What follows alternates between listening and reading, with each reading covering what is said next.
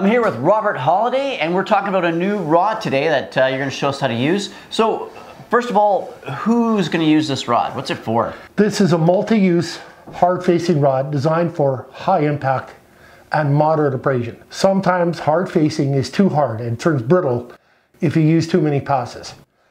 We can use this on cultivator shovels, on ripper shanks, on narrow edges, this is used in uh, the rock crushing industry, the metal shearing industry, where you just want an economical hard facing rod for a metal edge. Also on the scrap industry, on the face of the, of the shear itself, you could put beads on here just to give it a little bit of abrasion resistance and shear force strength. It's a 60 Rockwell hard facing rod. It welds as nice as a 7018 we have it also available in 332, and some machine shops have been known to use this as a, a machinable hard-facing rod when they want something a little harder than a 45 Rockwell. So this is the Eagle 606, all right? Uh, what sizes does it come in? It comes in 332, 1 8, 532, and 316. And what kind of settings? What are we going to work with today? What size? We're going to set we're going to set this 1 8 diameter rod at 120 amps it will run as low as 115 to 130. Yeah. And what kind of metal are we going to use on this? We're going to use just common mild steel, but you can use this on uh, shearing blades, uh, agricultural tools, where impact is a, is a concern. And what would we put this on top of? What kind of a build-up rod? You could use 603 as an underlay and put this over top, but this rod also can be standalone product by oh. itself.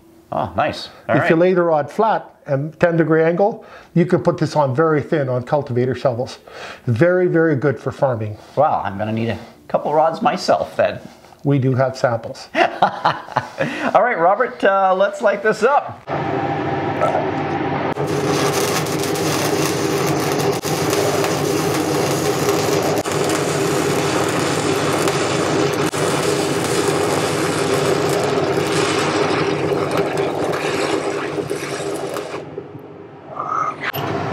It freezes really fast.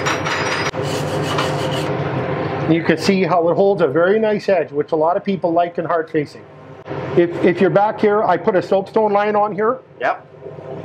And a lot of inexperienced welders will put a soapstone line just so they can see where to start, and you can weld it toward the edge.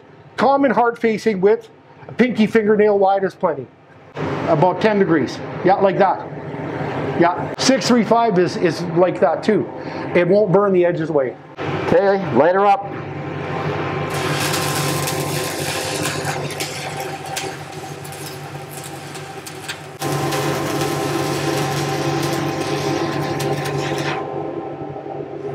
Now chip away that flux and you'll see what I was talking about.